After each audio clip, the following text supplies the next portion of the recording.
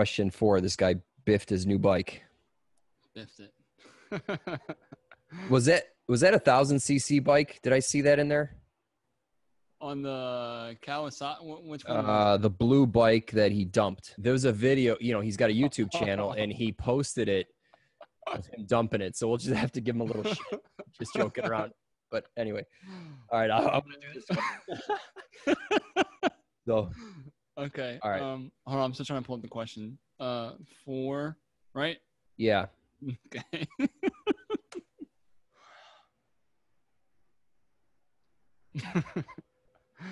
I've never heard the word.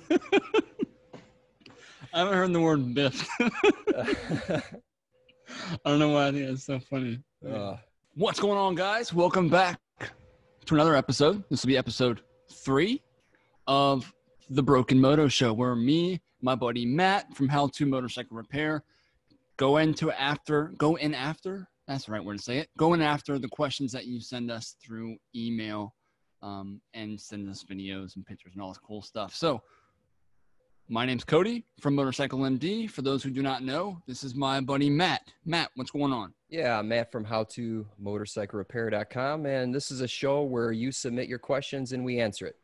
Yeah. That's it. Simple. Simple. Yeah. What kind of beer are you drinking right now? Guinness. Guinness. Guinness, man. Okay. I'm more of a IPA kind of guy. So I love IPAs. oh, um, really? But they love to give me a headache too. Yeah, absolutely. So, uh, man, two, three of them, and I'm hurting the next day. I don't know. I guess I'm old, you know. So, Mm, honestly, that's how I actually am with Bud Light. Dude, Bud Light Oh, gives me the pounding headache. Okay. Do you well, wait, wait. What kind of IPA are you drinking? Okay, right now I have this is from 21st Century Amendment. Um, it is uh, brew free. Mm, nice. Um, it's a good little. I think it's like a seven percent. Oh man. but it's got a lot of orange in it. Lots of orange, and I like that. yeah. Well, and so you got Guinness, so everyone knows. Yeah. Uh, so there's an IPA like that's only sold in Wisconsin called Moon. Man, and it is it is good. It's the best. It's I love it. It's just it's good.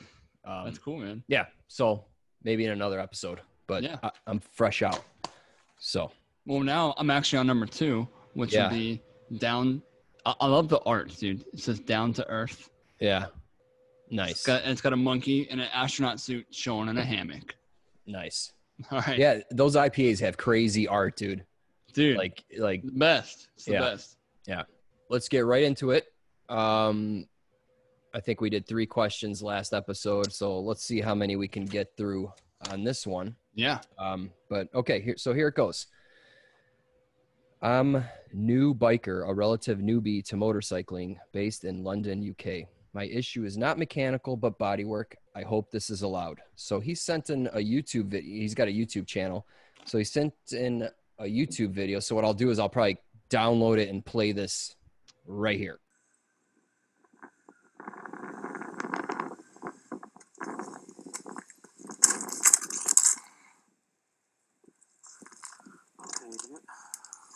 Okay, dude, that sucks. You biffed on your new bike. That sucks. okay. And Big old biff. yeah, so I mean, oh man, I mean, I've I've fallen on dirt bikes on the street. I never dropped Yeah. a street bike, but Uh, hey, man, we've all been there, right? yes, so yeah. Anyway, all right. So you've tried to repair the clutch casing by sanding down the scratches and ding. First, I masked off the area and dry sanded it down using wet and dry 1500 grit. Cleaned it with IPA alcohol before using VHT black spray paint as directed. As you can see from the pictures, the finish isn't perfect as the check texture is slightly different, even after polishing. Is it just a case of adding another layer of enamel? So grateful for any advice, noob, or is it newbie? I don't know. But Mm. anyway, Uh, what do you think? so well, well, first thing you know, he he showed a picture of the spray paint can, and it had 650 F on there degrees. So that it's like barbecue paint. Yeah. That stuff is flat. The label literally said extremely high temp paint. Yeah. So th- when you get into paints like that, they are almost like a wrinkle finish. Yeah. I want to say, or textured like you're experiencing, and it is flat. There's no gloss to it. so it's not matching your factory paint, right? Yeah, absolutely. Um, so I, I think enamel will be just fine for this application. Uh, it, those cases get up to like 250 degrees max, right? Yeah. Uh, Definitely not. I think the can said like 1600 degrees Fahrenheit or something. oh, was it 1600? Dude, Uh, it I was mean- outrageous. yeah. So no need for that paint. So, Overkill. Way overkill. So- What, what, I- what I'm also worried about, sorry to cut you off, what I'm also No. worried about is the enamel that he uses. Dude, I, I don't have good luck with enamels. I Oh, don't no? know, But whenever every time I spray on a black or anything color, it either like does this little like dimple thing. So like fisheye. yes. Okay. And I've tried like waiting for a long period of time. I've tried doing it like within the directions, like within 30 minutes, start hitting it with like new, like new coats or whatever. Okay. I've tried layering it. I've tried doing a number of different things. I just had bad luck with enamel.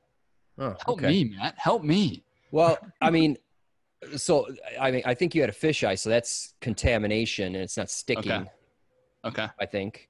Um, but what I what I've done is like if I spray enamel, you know, I let it dry or tack up, and then I go put it on my barbecue grill at 200, 250 degrees, and I let that sucker bake Mm. Okay. for an hour.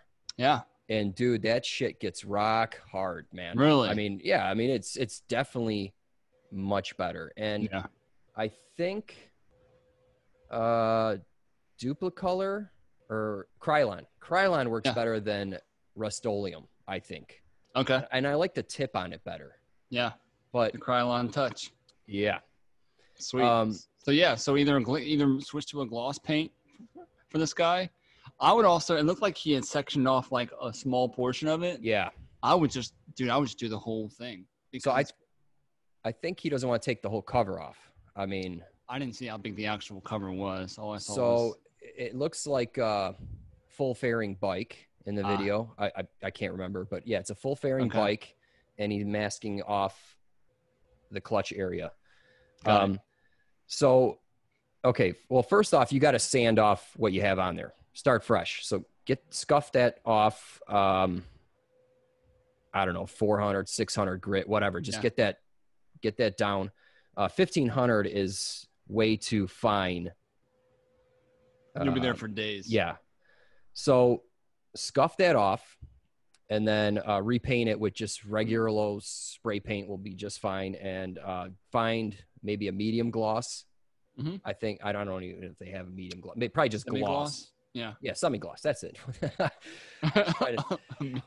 Oh, man. Anyway, yeah. So semi gloss would probably be a good match. And then, you know, anytime you tape off, you're going to have a hard edge. Boom. Uh, one thing you can do is tape paper all the way around like this. So when you're spraying, it'll feather it underneath here, all Dude, around. that's that's red level right there. yeah. So, but I don't think he's going to be able to do it in that area because he's got his fairings and all that. So I think it might make more of a mess in that situation. But just um, anyway, Yeah, And no, then- it makes sense. and then after that, you're probably going to want to take like 800 to blend it, then a thousand, 1200, 1500, and then maybe f- 1500, 2000, and then, Right. and then like rubbing compound on a rag. And then it'll probably be good Yeah, enough. because you got to get rid of that hard edge that you created with the paint. Yeah. Because you have your, your your the layer that was there. Now you have your new layer. You got to bring that in. Um, Yeah. Without damaging the original. So this is where it gets a little, Right. you know. Yeah. Okay. And then, so that, that'll take care of that. A little off topic is man, you have, you have a lot of balls posting a video like that, man. I don't know if I would do it. So that's awesome that you yeah. posted a video of, of you biffing. So that, that's pretty cool. I mean, no, that's great. I mean, others can learn from it. Heck yeah, Um, dude.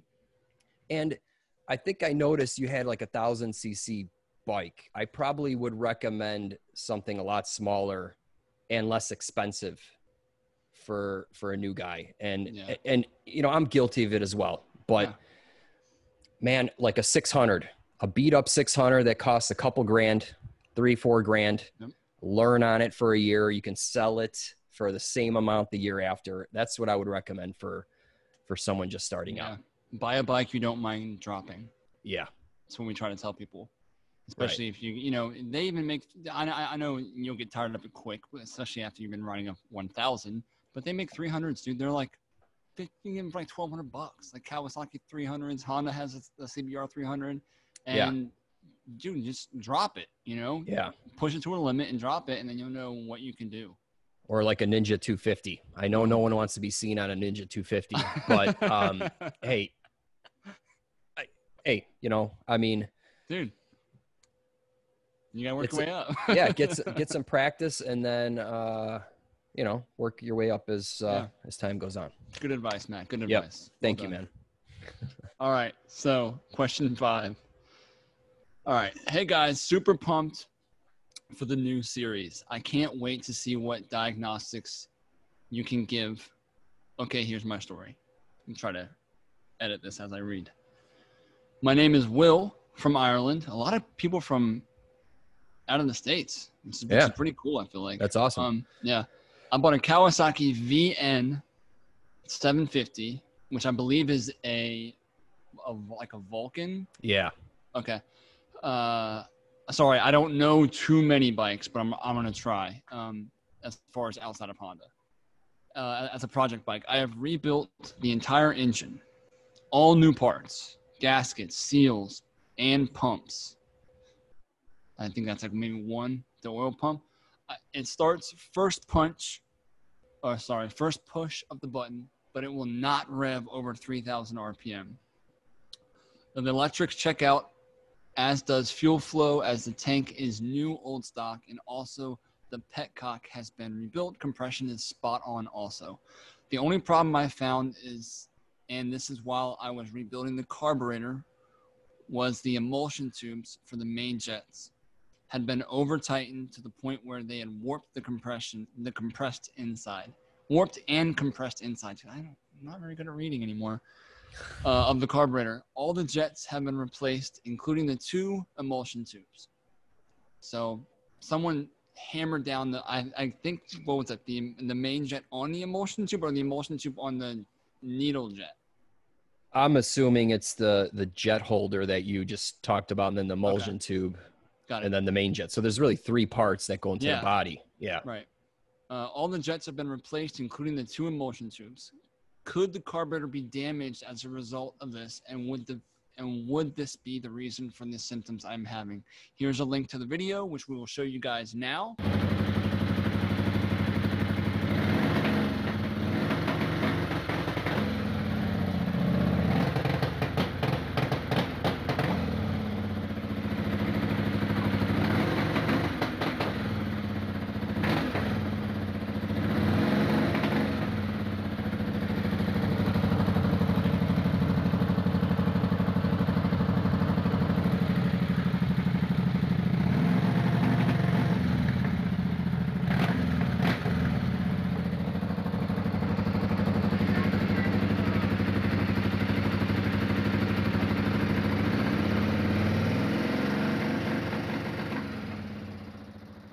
Many thanks, guys. I look forward to the new series.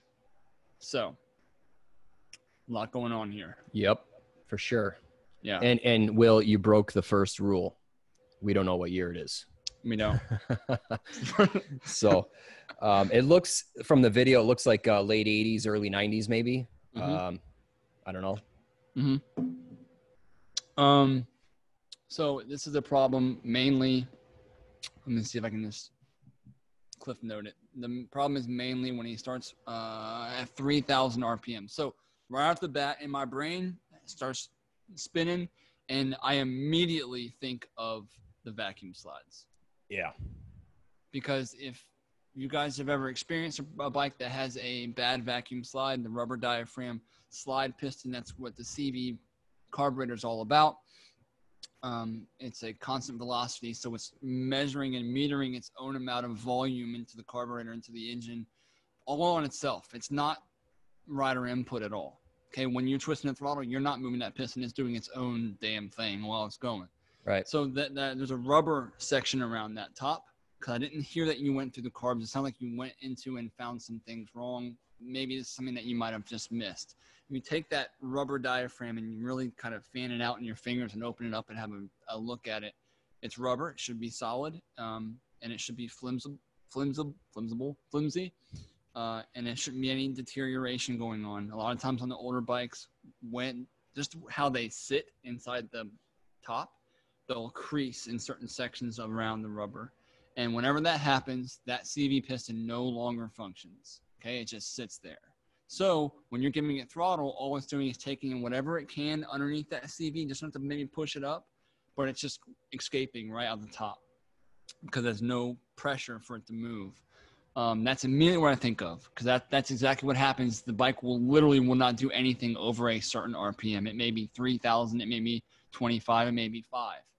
Um, that's that's that's the first thing, and I'm done. No, I mean I would you uh. I would say carburetor, and Yeah. yeah. that you're in the the needle range, which is the Mm. CV slide. Okay, in the video it was idling fine, so the pilot circuit Yep. is fine, and then you get onto the next circuit, which is the needle, which is affected by the slide, like you mentioned. Um, just to add a little more info in the video, I noticed that he had some kind of different exhaust on there, and he it actually had like a flex pipe on there. Ah, so oh, so so yeah, so it has some kind of homemade exhaust on it. Okay. Now there was a brief view of the airbox. It looks stock, but Mhm. who knows if it's been gutted or whatever. Yeah. So holes drilled through it. yeah, so what I want to mention is if you take any part off a stock airbox, it's going to run like crap Bingo. and it's lean. So th- there's all kinds of chambers to restrict a stock airbox, a stock airflow.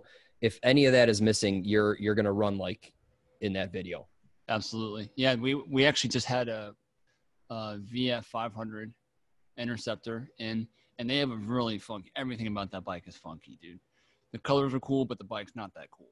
So Okay. all the parts are different from any other bike out, right? And on the airbox, they have a lid that has a big hole in it and the guy and not knowing the customer he had put the air filter upside down so all you're looking at is a K&N logo because you put a K&N filter that's the cool thing okay. to do. Right. And so that's all you're looking at. So literally, you're not looking into the air filter, so it can't bring in air. So that was the first thing. I flipped the air filter upside down and it ran. Right. Okay. But then I'm like, man, it won't take throttle over four grand or like 4,500. And I go back to the parts fiche, and I realize that there's a little rubber snorkel. Oh, snorkel, oh, yeah. What is little snorkel, dude? I'm yeah. like, oh, well, this is it. Like he's he's uncorking it. Exactly. Yeah. yeah. Something as small as that can cause dramatic effects. Sure. Because they put it there. Guess what? For a reason. Yeah. And um, a quick tip. I know, like I've been talking about applying choke in certain uh questions answered here. Yeah. Um you know what I've done in the past is apply tape over the air duct to Yeah. restrict air and make it run richer. So that's just a quick trip. I mean, a piece of tape takes 2 seconds to put on, right? I don't know if that applies here, but you know what I'm saying is like you can do simple things to alter the fueling for diagnosing a problem. Yeah, that's literally what I did on the interceptor. So, Oh yeah, tape. Yep, taped it. I was like, yo, I got tape on it. You just need to find yourself a new one because they're not available anymore. Oh, oh, that's okay. Sounds good. Oh man. Cool. Well, he could jet it, right? yes, but yes, yeah, he could. He, he Yeah. totally could, and then just Absolutely. never be able to enjoy the bike. Yeah, Okay. he'll just keep on jetting, keep on jetting. Yeah, yeah. All right. So I think that's it for this question, right? Yeah, that's it. Okay. That- that's all I got. All right, let me uh where where is it? Okay. Next one. Good morning, guys. My name is Gus from Tucson, Arizona. I have a 97 Vulcan 800 California model. I brought it to life a few months ago. It doesn't go over 50. It gets to 50 and starts to sputter. I redid the carb per Matt's how-to video. Pretty simple. So yeah, I got a video on that bike. Oh, sweet. I had an electrical issue with the starter. I took it to mechanic and asked to route or fix the vacuum lines, which he did. The bike had a hyper, hypercharger filter installed, no canister. Underneath the gas tank, there are three nipples. One is connected to the carburetor, front right. Another has a hose that runs out of the bike to expel extra gas from the gas tank, front left. Last one has no attached. Note the Petcock vacuum hose connects to the carb and tees to the hypercharger. I have compared the hypercharger and the motorcycle manual schematics to the fuel lines and hit a dead end. To me, using the schematics, everything looks good. I appreciate any help you, Cody, and Matt can give me. All right. Mr. Matt. Okay, so first off, let's um, talk about the three hoses to make sure they're installed correctly. So um, there should be a six millimeter, a quarter inch hose off the petcock, which will be for fuel to the carb. Okay. Uh, then there'll be that uh, vent hose. That should be what three sixteenths or uh, four millimeters, roughly yeah. five, whatever. So that is just strictly to let air into the tank, air in and out, so fuel can flow. So maybe right. it's a good idea to blow through that hose, put your mouth over the hose, and just blow into it to make sure right uh, it's not obstructed. Um, the last one is a vacuum source or signal to the petcock, which will open it when it's running to allow it to flow. Boom. Okay, I, I, it doesn't sound like it's hooked up correctly. It sounds I mean, like the because the hypercharger is sharing that vacuum, right? Yeah. Well, normally so, the, va- the the hyperchargers that I've seen they share vacuum with okay. the Petcock. Uh, okay, I'm not too familiar with this hypercharger stuff. Okay. So so it has like a a butterfly yeah, on exactly, it, vacuum exactly. operated. Okay. So when, when you give it throttle, it sucks in more right. and it kind yeah, of closes I, off the thing. Yeah. Okay, I've seen that. So it sounds like it's um, getting a vacuum signal. Mm-hmm. So that that sounds correct, I guess. Then, right? Yeah, would, and it's it, it sounds like it, and it's running, so it's getting fuel. Um, now this model, I believe, might have a position on the petcock called PRI, prime. Mm-hmm. That flows regardless of vacuum signal or not. So that that sucker bypasses, you know, it's in bypass mode, and that's to fill right. the carb or whatever. I, I I guess you can turn it to that mode for diagnosing uh, if you want. Um, but I guess weird switch because they had those on Suzuki's too, on old Suzuki's. Yeah, I had an '86 GSXR 750. It had the Prime thing on yeah. there. Yeah. Um. So anyway, um, I guess I have to ask if the, is if is this thing's jetted because it ha- it doesn't have the stock airbox. Right. Um, and then you have to ask. I mean, it has to have jetting done to it or a jet kit. Otherwise, it will not run. Even close to 50. Yeah. Yeah. So again, it's it's getting back to what you said earlier. It's probably your slide acting up. Mm-hmm. You know, you're not. Or I mean, it's not fueling correctly in the half throttle range, which is the slide. Yeah. Um, anyway, that's what I got. Go ahead. No, yeah. Um, I'm glad you knew more about the vacuum hoses than I did because I, I didn't know what he was talking about. But now it all makes sense because that's exactly what the vacuums are for. So, right. Um, yeah, blowing through the tank is important because if you don't, or if there's a blockage there, the tank will literally just cave in um, because of the vacuum that's created from gas leaving. So that's important. Right. Um, jetting is going to be a factor, especially with the hypercharger, because that's what you got. I hate those things. So I'm sorry that you have one on your bike. Um, but I would you might need to start jetting it and start going up bigger because it, it, may reach 50 and then once you give it more throttle it may just be like you know what i need more gas right now and you're not giving it to me you know right um, i'm not sure what you got going on more information is key when you know, the types of questions so that uh, I was also wondering if it had a, if it had, you know, sometimes they have like a fuel pump when the carbs sit like into the tank, and there's like you know the gravity of fuel is plays yeah. a role. So do you know if that no, it, it, does not, and here's okay. why. Um, I, I worked on this model, and I did a video on it, and you know what happens is the float gets stuck open, and the whole all the gas gets dumped into the engine. Fantastic. The whole crankcase fills up with two gallons of gas. um, so yeah, it's just gravity flow. Okay. Um, okay. But um, yeah. So uh, okay, so maybe a couple quick things you can do. I said this like three times already. Apply some choke, see yeah. if it gets better. Uh, get some tape and tape up the hypercharger holes, which will r- reduce the air, and see right. if it responds. See if the engine responds. Those are 10 second tests you can do. If it responds better, you're lean. Yeah.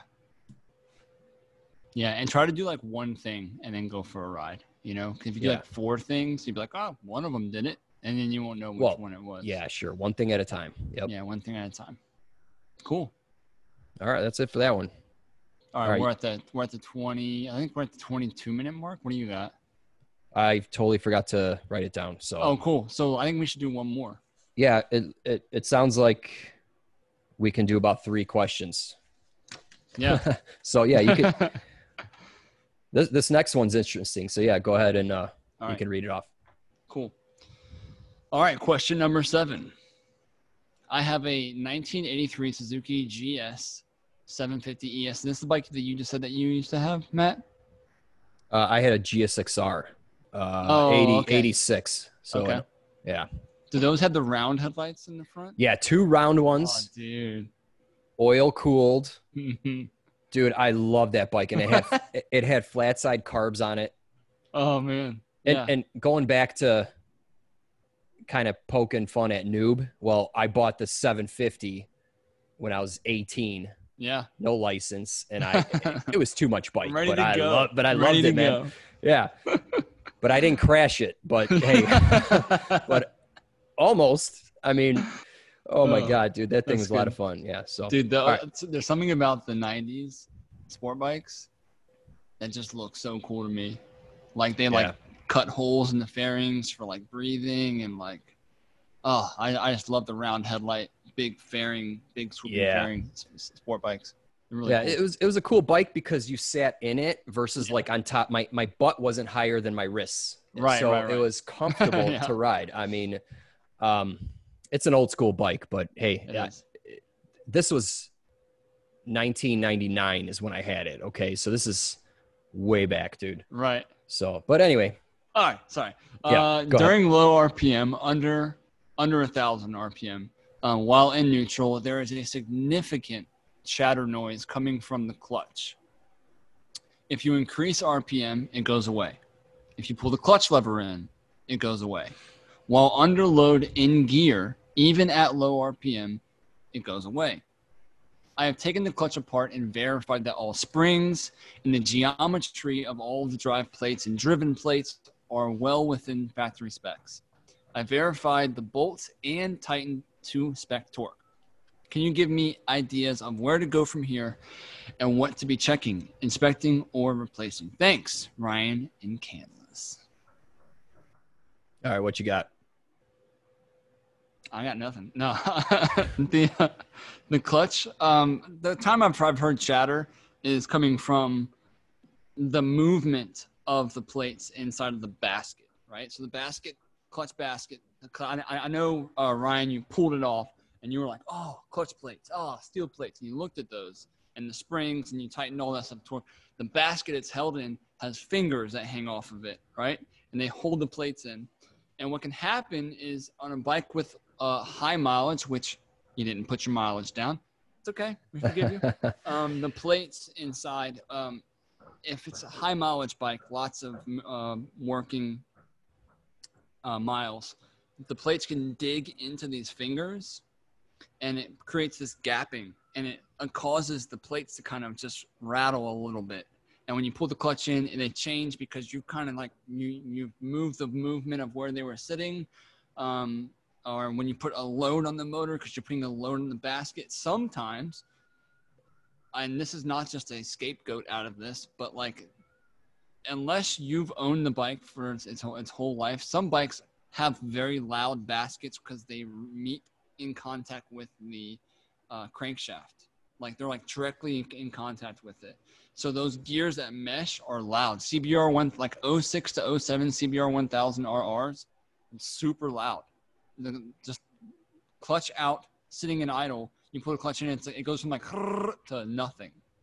Um, not saying that that's it's like a normal thing for your bike, but that's what I would expect. If if you told me that, I would pull the clutch cover off and then I would go in after to see if there's any a lot of wear taking place on the clutch basket's fingers, the hub fingers.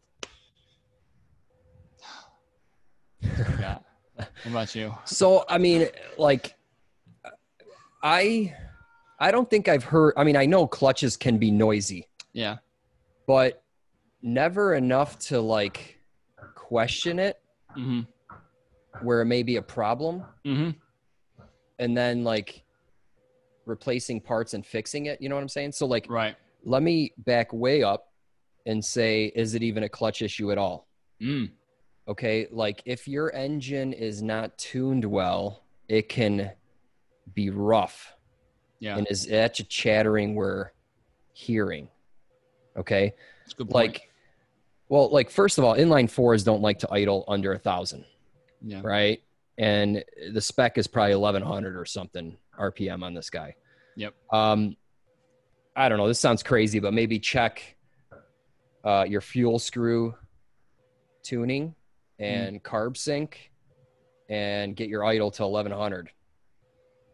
Yeah. I mean, that's just crazy out of the box thinking. No, I mean, because I mean, dude, like CRF 450s are coming out of the box. Like they want them things at like almost 18, 1900 RPM. Yeah. I mean, they're like singing. And you're Yeah. like, this sounds really bad. It sounds like, the, but if you, if you bring it down, it's like, Oh, yeah. Or you know what a bike sounds like when the carbs are out of sync. It's Yeah. like it sounds like it's knocking like crazy, right? right, right. Um, so I don't know. It's just something to think about, I guess. Yeah, I I was thinking like, could it be like timing chain? But I feel like the clutch lever wouldn't make it do that. Pulling the clutch lever and wouldn't change. No, it wouldn't. It wouldn't. Right. Well, okay. So I, I didn't look up the parts schematic on this. I don't know if this guy has primary drivetrains hooked up to the crank. I don't know if it runs Okay. off a gear off the crank or a chain set Good question. like the CB500, 750, and stuff. So if if it's not running smooth, and you got a chain set, all of a sudden that could start You're totally right. Yeah. clacking. You know, um, I should have looked that up, but I, I just figured We'll do that next I time. don't know. Yeah, We'll at least Google the bike. Yeah. yeah, sounds good. cool, man. I think that's all the time we got. Yeah. I mean, we got some questions banged out. Uh, we try to hit at least three or four questions per episode. It's what's what it seems like it's coming down to. Yeah, don't want to right. we, we don't want to crush too much of you guys this time with a 30 or 40 minute thing let us know actually in the comments let us know is this awesome uh, do you hate it um, do you wish we could answer more questions and just stop talking about ourselves let us know you have anything to plug Uh, check out my site, howtomotorcyclerepair.com. I have what over 200 videos that you Yeah, can yeah. definitely check out. yeah That's you it. actually just worked, did the awesome thing on uh, Vaporhone stuff too man that was pretty killer Yeah, I got to man. I'm I'm beat from a few months of all that video work, so I'm just uh, I'm just chilling right now, just trying yeah to, you know. do a collaboration video with motorcycle md that's what That's right. That's right. to do Th- this is easy. Talking and drinking beer is is nice. It's Right nice on, man. break. Yeah, and for those of you who do not know me, um, um, check out my website, The Motorcycle MD. I have tons of tons of carb stuff on there. I have uh, I have multiple products with single, twin, inline four, and now introduced a V4 for like Magna stuff, newer Magna stuff. Check them out. Total walkthroughs on there, and uh, uh, as well as the mailing list. Um, you can join there as well. You get a free troubleshooting cheat sheet that I hand drawn and wrote just for you guys. It's pretty ridiculous, but you get it for free just for joining the mailing list, and that allows me to contact you when new videos like this one with me and Matt come out. Uh, it gives you first notice of when it's going to hit, um, and that's it. That's, That's it. Yeah. So the email askbrokenmoto at gmail.com. Hit us up, make a video, pictures, give us a bunch of information. Again, what Matt said in the beginning, the more information, the better. Yeah, follow the Um, rules, guys. Follow the rules. and uh, we'll see you guys next time. We'll probably be adding rules as time goes on. It's gonna be a list this long of stuff you got to submit. So yeah, Perfect. We'll, we'll, right. just, we'll, we'll send them back a reply email with the rules. yeah. cool. All right, guys. See you next, Uh, next time. See, see ya.